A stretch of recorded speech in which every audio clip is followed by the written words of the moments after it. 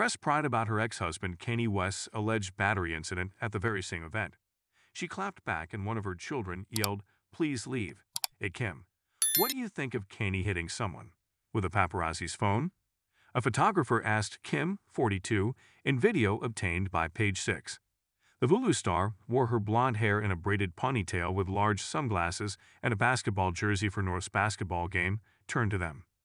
Do not talk to me about that in front of my kids. She stared them down and responded. Sorry, Kim, the photographer meekly said back. During this exchange, a child can be heard shouting from inside the star's ride. Please leave. Fans on a popular Kardashian online thread thought it was her eldest daughter North, 9, as she as well as another of Kim's children, seven-year-old Saint, entered the SUV with her North yelling to please leave. One fan wrote in a thread with a frown emoji resharing the clip. Oh my god, she sounded so distressed. Heartbreaking, honestly, wrote another. The anguish and anger in North's voice claimed a third, fourth accused.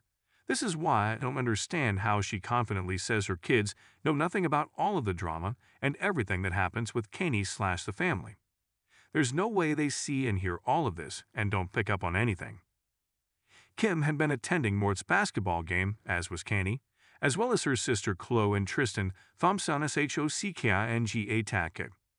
According to TMZ, Kanye, 45, was named a suspect in a battery investigation after getting into it with a photographer at the game the controversial hitmaker saw the woman with her phone out and accused her of following him.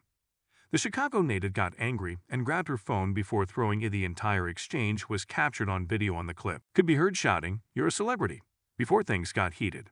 The dad of four then got out of his car and confronted her, while she recorded him with her dog on her lap. You didn't have to run up on me like that, Kanye told the woman as she held her cell phone in his face. If I say stop, stop with your cameras.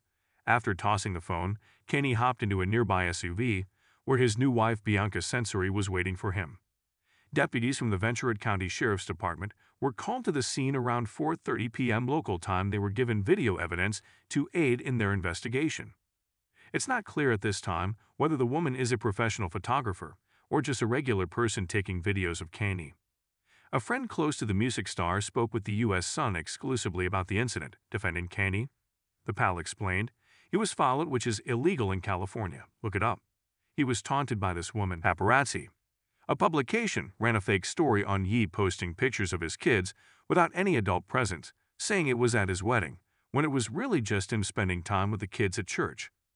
Kanye was followed by this photographer. He asked her to stop, and he felt harassed, disrespected, and defenseless. The pal added, Kim has yet to respond to the incident. The Skims founder was earlier seen making her way into her daughter's game and sitting courtside before all this occurred. She kept it casual, wearing a red and orange jersey with white text on it and black biker shorts. Please subscribe my channel news update.